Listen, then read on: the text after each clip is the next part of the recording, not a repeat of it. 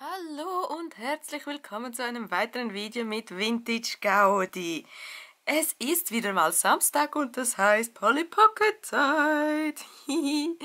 Heute stelle ich euch dieses Polly Pocket Set vor. Es ist das Glitter Island von 1995. Und wie es von innen ausschaut, seht ihr gleich nach dem Intro.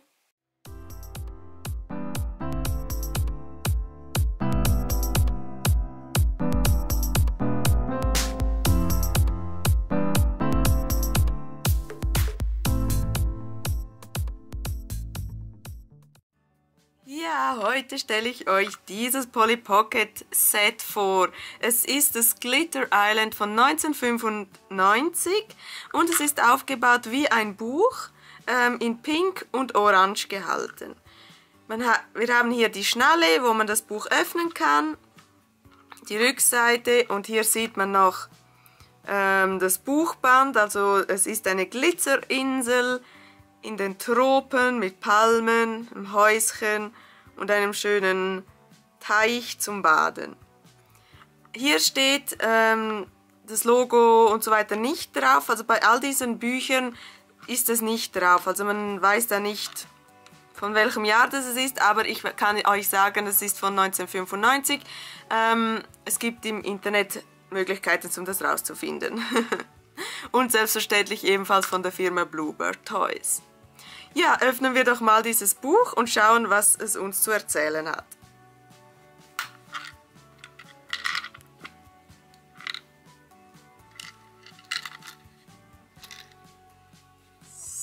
So.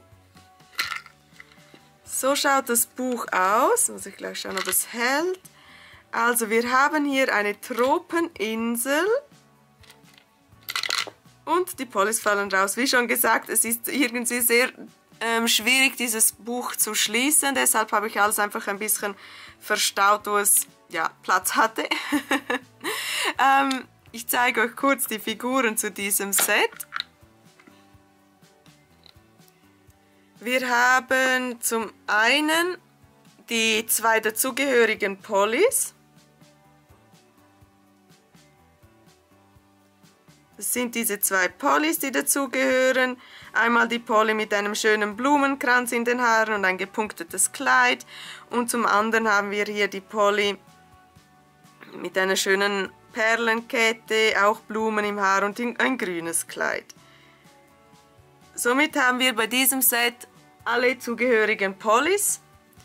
Aber es hat noch mehr, was hier dazugehört. Zum einen dieser süße kleine Affe, der jetzt gerade keine Lust hat. Ähm, nochmals. Dieser süße kleine Affe. Und dann haben wir dazu noch ein Kanu in Lachsfarben, das gehört auch dazu. Und noch eine grüne Schildkröte, wobei diese Schildkröte auch keine Lust hat. Nein, diese Schildkröte ist leider nicht original. Ich habe keine originale Schildkröte dabei, deshalb ist dieses Set theoretisch fast original. Ähm, ich glaube, diese Schildkröte war irgend so sonst dabei, aber eben gehört nicht zu diesem Set. Aber theoretisch, es wäre eine grüne Schildkröte dabei, einfach zum euch das zeigen. Ja, wie ist denn das Buch aufgebaut? Also als erstes Mal, macht dem Glitzer von Glitter Island alle Ehre. Es ist überall glitzerig und ja, glänzt. es ist aber ein wirklich tolles Set. Ähm, wir haben im unteren Bereich vom Buch eine, einen schönen Teich mit Fischen und Krebsen drin, Muscheln, alles mögliche, wo man da mit dem Kanu quasi da rumfahren kann. Wir haben hier eine schöne kleine Bucht wo sich die Schildkröte sonst verstecken könnte. Wirklich alles sehr toll gemacht, auch wieder sehr detailliert. Auf dieser Seite haben wir einen kleineren Teich mit Krebsen drinnen. hier, das ist ein Krebs.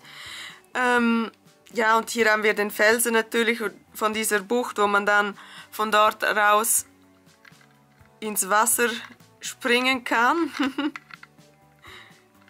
So quasi ein Kopfsprung ins Wasser. ja, und alles, der ganze Boden hier ist in eine Art, also wie Sand dargestellt. Also wir haben so einen Strand Bademotiv hier in dieser ähm, Aussparung, wahrscheinlich im Felsenin, haben wir ein ähm, Badetuch von Polly und seiner Freundin. Ähm, wir haben wieder was zu essen. Und man darf natürlich nicht, also was, da, was darf sonst bei einem Strand nicht fehlen? Das ist eine Schatzkiste. Sie haben hier eine Schatzkiste, die etwas schwierig ist zu öffnen. Sie klemmt ein bisschen. Selbstverständlich, diese Spiele sind natürlich auch alle gebraucht und ähm, ja, geht dementsprechend schwierig, zum, gewisse Sachen zu öffnen. Aber wie man sieht, wir haben hier eine glitzernde Schatzkiste mit ganz, ganz, ganz, ganz viel Schmuck drin. Ja, auch wieder schöne Details mit den Pflanzen, der Palme, die hier rausragt. Wir wirklich wieder sehr tolles, schönes Set.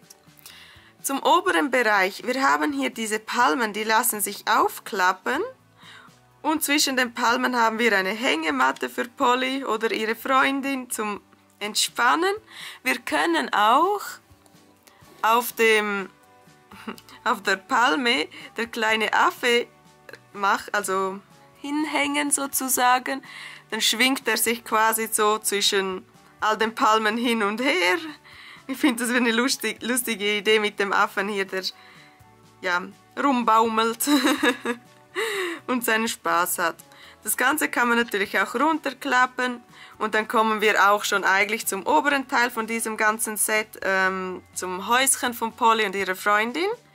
Auch hier oben haben wir wieder einen Teich mit Fischen drin und ähm, Blumen. Ich, ich, nehme an, das werden wahrscheinlich Seerosen sein. Ähm, wir haben hier oben, muss ich gleich schnell schauen, hier ein Sprungbrett, wo man ebenfalls einen Kopfsprung ins Wasser machen kann. Ähm, und ja, auch wieder alles voller Glitzer. Die Blumen, alles, es glitzert richtig toll.